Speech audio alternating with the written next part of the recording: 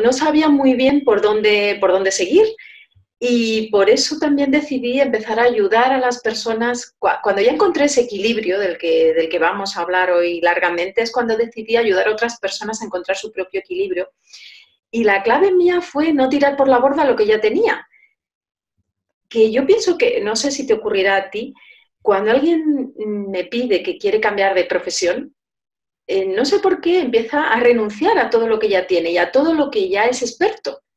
Y yo muchas veces les digo, es que mm, es tu punto de partida, no renuncies a, si trabajas en banca, ¿por qué tienes que renunciar a esto? Si sabes mucho de ello, si te puede posicionar como experto, en vez de tirarlo por la borda y empezar de cero, parte desde allí, encuentra ese equilibrio y luego verás si a lo mejor eh, puedes dedicarte solamente a tu segunda profesión o, dedicarte a ella como hobby o encontrar otras opciones, pero no tires lo que ya tienes. Y es ahí donde al encontrar el equilibrio yo encontré la paz y entonces mi negocio de emprendimiento empezó a funcionar mejor.